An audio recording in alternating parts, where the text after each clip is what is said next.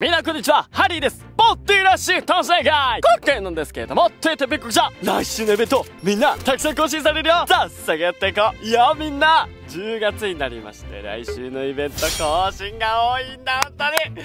みんな来るぞ。いろんなイベント来るぞ。来週はですね、とてつもなく更新されるので、とにかく情報をまとめていきましょう。さっさやっていこう。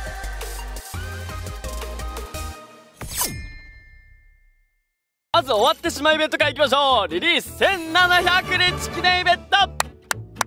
よいしょこちら10月5日に終わります。木曜日ですね。10月5日に全員プレゼントキャンペーンの50個ダイヤ、そしてログインボーナスのかけらとかも全部終わっちゃうからね。まだもらってないよって人はこっちの50個。そして、リリース1700日記念のかけらとダイヤ、絶対もらってください。このね、オーバーブーストも、あの、必要になってくるんで、クリスタンのオーブもらいたいよっていう人はね、最後まで絶対ログインボーナス達成しといてね。かけら、この時期もらえること少ないんで、絶対ゲットしといてください。まあ、この後あの、七部会のガチャとか、あの、ピックアップ系のね、ガチャにかけらがついて登場する可能性高いんですけど、あんな感じのが登場しない限りね、かけらの配布、こんな感じでないので、みんなね、楽しんでおいてください。さあ、まあ、ガンガン行きましょう。続いてはこちら、実写版ワンピース配信記念キャンペーン第2弾10月3日終了ありがとうございました。現在撮影時期が10月1日なのであと2日後。実写版キャンペーン終わっちゃいますイベントミッション。バトルポイント交換所と。もういろんなものが終わっちゃうんでねみんなゲットしといてください。交換所の方ね割引入ってるんでねしっかりゲットしておくれたら嬉しいなと思います。特に言うことがありません。これに関しては次行きましょう。10月3日飛び六方キャンペーン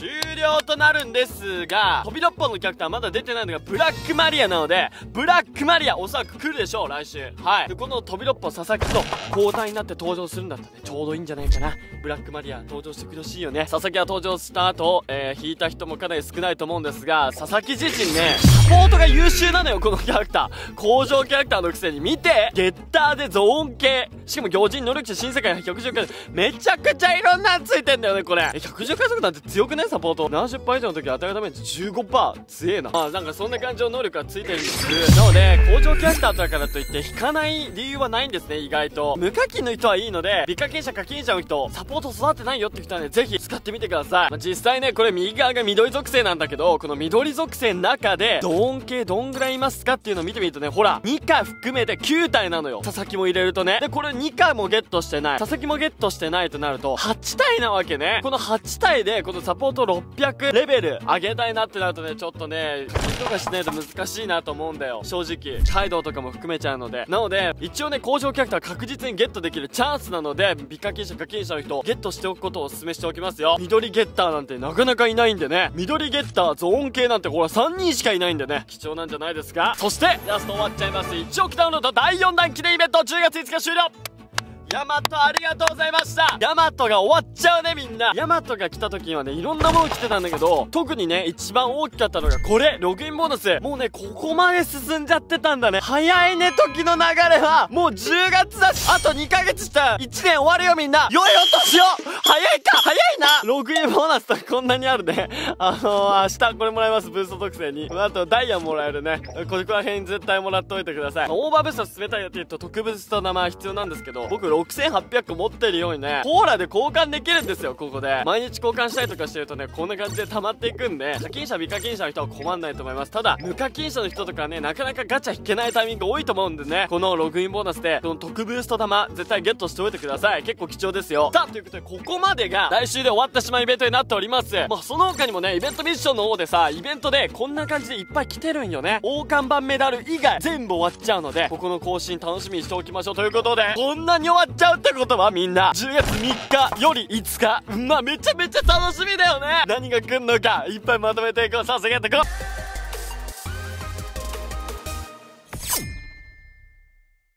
まず10月3日、佐々木のガチャと更新になります。飛び六本キャンペンいや、何が来るんだろうねっていうかもう分かってると思うけど、ブラックマリア。多分ブラックマリアだよね。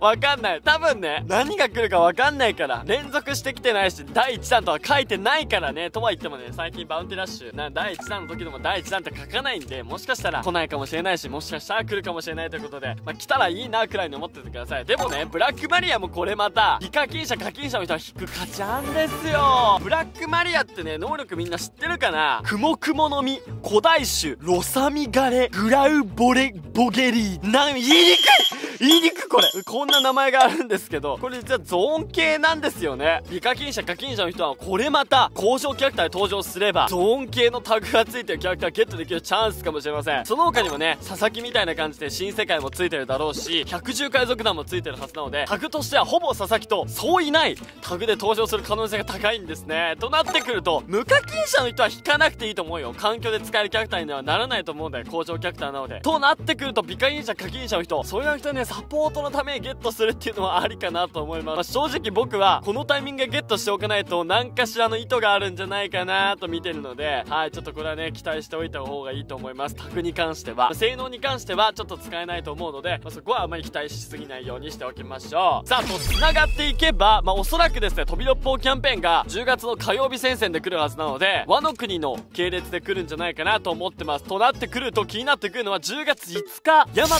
更新にここ何がが来るのかだよね。めちゃくちゃ楽しみじゃない？みんな。ここまでねガチャとか見てみると大和更新になっちゃったらさ和の国キャラのアルベルクイーンが残るわけなんだよ。で飛び六方のブラックバリアが来ればちょうど百獣海賊団が来るでしょ？ということで僕は大和更新の10月5日復刻キャラクター青街道。これ来るんじゃないかなと思ってます。だって百獣海賊団ちょうど揃うんだよガチャで。めちゃくちゃいいと思わないそれ。まあ、でも過去にねなんかそうやって合わせてきたことってないんだけどおでんも復刻した時ね。その時の復刻第3弾最終ではキングが登場してます。だから和の国系列で来てるっていうとね和の国キャラクターで合わせてくる可能性もあるんで今回1億ダウンロード第4弾ヤマト更新の10月5日では新しいイベントとしてね。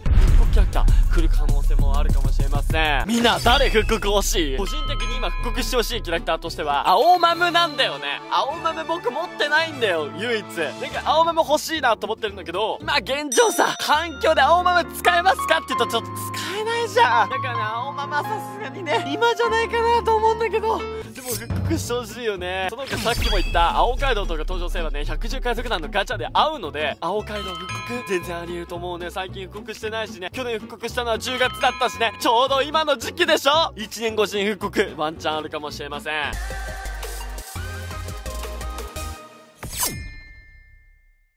その他ちょっと気になってるのが10月6日ローくんの誕生日なんですが、ロー君の誕生日ということは、きっとアンドロー復刻なの？とかっていう声も出てます、巷では。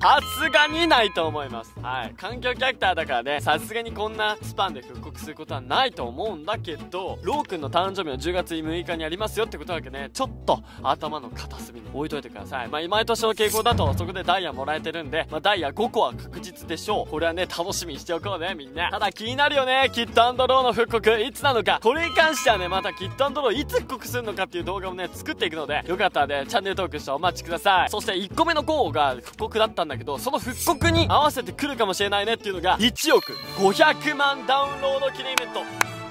現在もうすでに1億ダウンロード突破してます。これね7月のキットロー登場時点で1億ダウンロードは突破してるみたいなんだよね。でそこからのさ夏休みレッドシャンクスの復刻とかニカが登場したいアルベルクイーンも登場したわけで人気キャラがガンガン登場してダウンロード数も上がってると思うんだよね。となってくると去年も10月に6500万ダウンロード記念として青街道が復刻してるみたいな感じだから今回もね500万ダウンロードずつ区切って1億500万とかで超別戦キャラクターが復刻する可能性もあるんじゃないかなと思います。ちなみにこれ去年の6500万ダウンロードこの時期に来てた復刻青街道の時のログインボーナスがこちら。ダイヤハイク100個配布。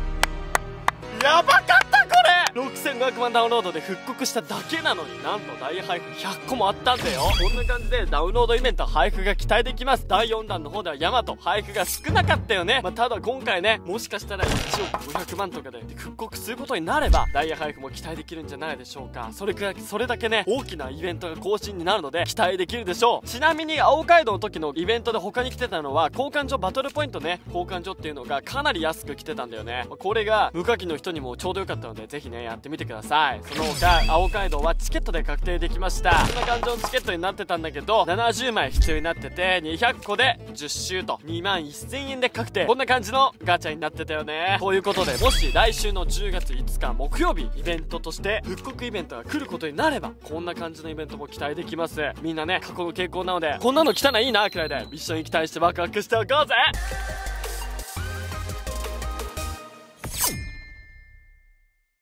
ということで見ていただけましたどうでしたでしょうか？何何千万ダウンロードのダウンロード系列が更新になるということでかなり大きなイベントが来ることが濃厚です。10月5日毎週木曜日はイベント更新の日となっているので何か来るでしょう？みんなね一緒にワクワクして楽しみ待っておこう。僕的には復刻が来たらいいなと思ってるね。去年も同じ時期に復刻が来て大配布結構されてるんで今年も大配布と復刻セットで来てほしいなと思ってるよ。みんな何が来てほしいかぜひコメントで教えて。見ていただけてました次のとこでお会いしましょう。ではまた!